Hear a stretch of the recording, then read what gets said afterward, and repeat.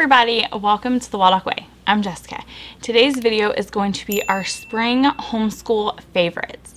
So I don't know about you guys, but I have found that in our homeschool each season there tends to be some things that really stick out, things that are our favorites, things that we tend to return to over and over and over again.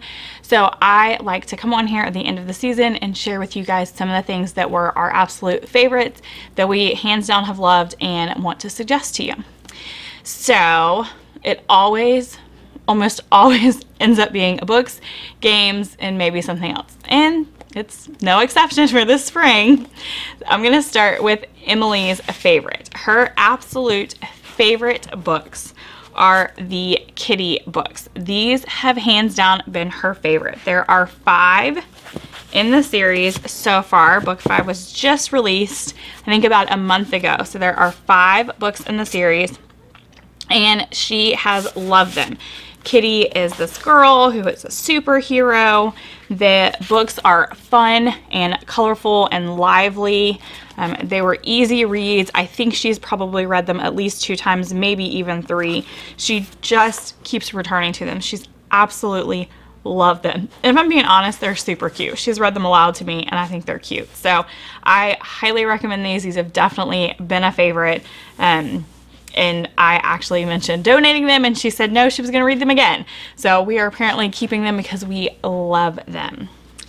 Our favorite read aloud series has been Escape from Mr. Lemoncello's Library. Now I bought the first one over last summer because I intended to read it aloud. It was one of the books I wanted to read aloud. And I didn't actually read it aloud until um, think maybe two months ago. Emily even took a book club class on Mr. Lemoncello's library with Mary Hannah Wilson from Celebrate a Book and loved it.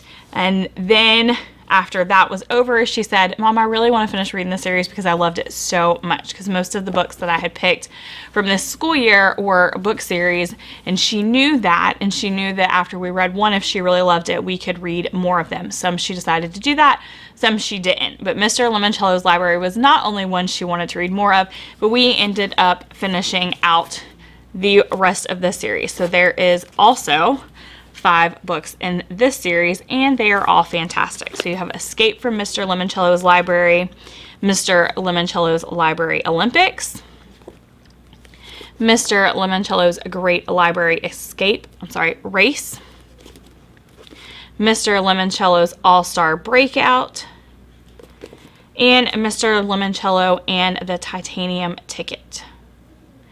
So those were hands down the whole family's favorite. I mean, she thought they were super cute. I loved that there were so many references to great pieces of literature within it. And I think she loved that too, because they would say something like about Harry Potter or about an author she knew, like E.B. White or Roald Dahl. And she was like, Mom, I know them. Mom, I know that book. And it just really excited her. So that was really like cool because it, it gave us even more things to talk about um, and more things to explore in our own library. And then there was even some authors or books that were mentioned that she hadn't heard of that she was like, oh, mom, can we make a list from these books of books that we might want to look into reading? So it was one that was really awesome that pr provided some really cool rabbit trails. So if you like rabbit trails, you're going to love those books. Okay. Normally, I come on here and I share my favorites, and my favorites are almost always like homeschool or mom books because I tend to read that type of thing. This spring, I don't know what it was. Maybe it's the pandemic, maybe it was just life. Maybe I needed to read a book that was scarier than what we were living. I don't know, but I fell madly in love with psychological thrillers, and that's been the main type of thing that I have read. And so my favorites, I only have two of them to show you because I've loaned them all out to my mom. I'm making her read them, um, have been Lisa Jewell. I've read, um, let's see, Then She Was Gone, I Found You, The Family Upstairs, Watching You, um, The House We Grew Up In. So I know I've read at least those five. I feel like there's another one my mom has that I've read, but I will leave them all um, in the links in the description box for you. But I have not read any of hers yet that I did not absolutely love. They're easy, they're quick reads, um, and I just find them really appealing. If you don't like that kind of thing, then you won't like it at all. But if you do, make sure you check out Lisa Jewell. So sorry I don't have a homeschool mom book for you. I just just totally needed something different. Just, I needed a distraction. Okay, onto the games.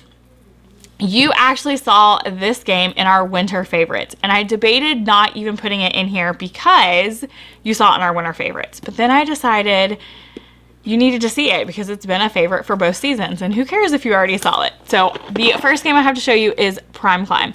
It has been a favorite. It has been coming out almost at every game night, which is surprising because educational games don't always get picked on game nights.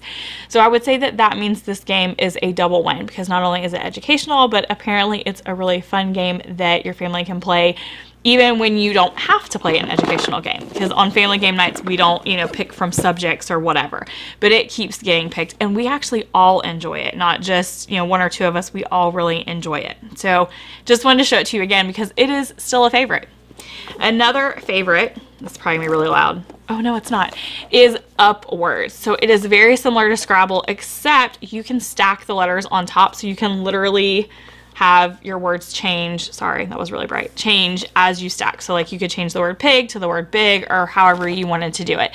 This has probably been my favorite. I really like word games.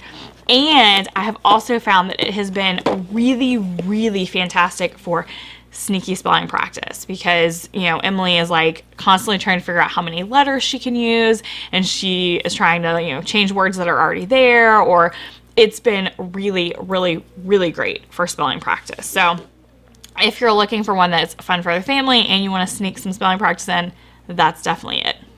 The other two games that have become favorites, one has been on our shelf for ages, but it took us like until a few months ago to learn to play it and then we've been playing it on repeat and that is photosynthesis my sister and brother-in-law had to come over and teach us to like run us through a game and then after that we have absolutely loved it. It's fantastic. You have these adorable little trees and all the different sizes and you're trying to you know grow your tree. Like look aren't those so cute you guys um, and you're trying to go through all of the different phases as the moon or as the sun is rotating and it's just it's a lot of fun.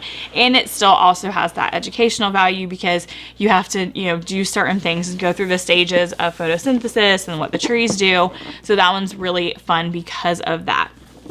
The other one is along the same lines and it is planet which is also by Blue Orange. This is another one that once we finally learned to play photosynthesis, I was like, okay, we like this, so we like those type of games. So we got Planet recently and it has been played on repeat too.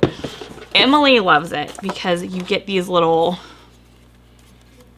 I don't I don't know. It's it's not a sphere. I don't know what shape it is, but you guys it looks kind of like a sphere. But they're magnetic. So you have all of these different tiles and you're building your own planet with them. Um, it is a lot of fun and it has some educational value to it. You have to score your own stuff at the end and you have to pay attention to um, the different animals and what areas they live in. And so there's a lot of education to this one too. I really, really like them both. Sorry.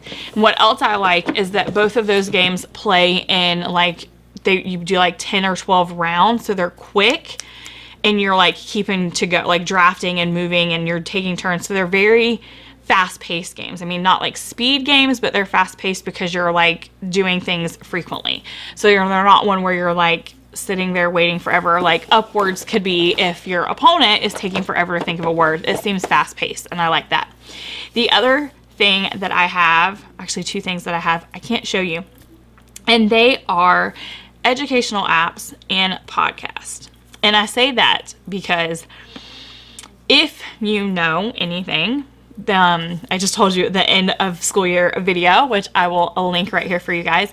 You know that I said that here in the last few months, we were kind of over all of the togetherness that we have been getting. Um, we actually even took a spur of the moment trip because we just needed to leave before we, you know, killed each other. So anything that was enabling her to learn in her own space was very, very useful, fantastic, and a favorite this spring. And so that happened to be educational apps and podcasts because those were easy ways for her to, you know, put her headphones on and kind of play quietly and be listening and me still be able to say, oh, you got science done today or, you know, whatever.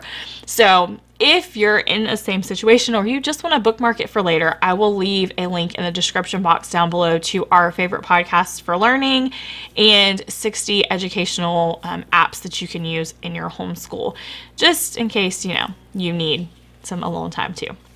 So that's it. That is our homeschool favorites this spring. And like I said, I will leave links in the description box for everything that you've seen here today. And now I would love to know what have been your favorites from this past season in your homeschool. Let me know in the comments because, well, maybe I need to pick some of them up.